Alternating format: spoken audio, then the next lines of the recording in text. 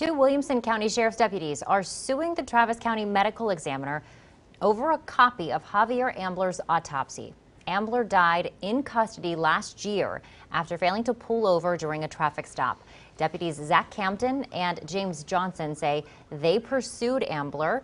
Body camera video shows he crashed several times before he was tased and taken into custody. Ambler's also heard telling deputies he can't breathe and that he has a heart condition.